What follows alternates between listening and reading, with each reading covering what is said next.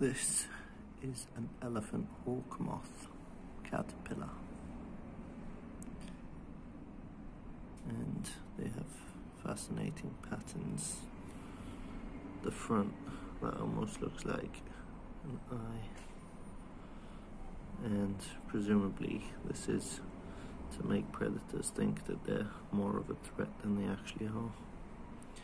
Now these are actually quite large. Let me show.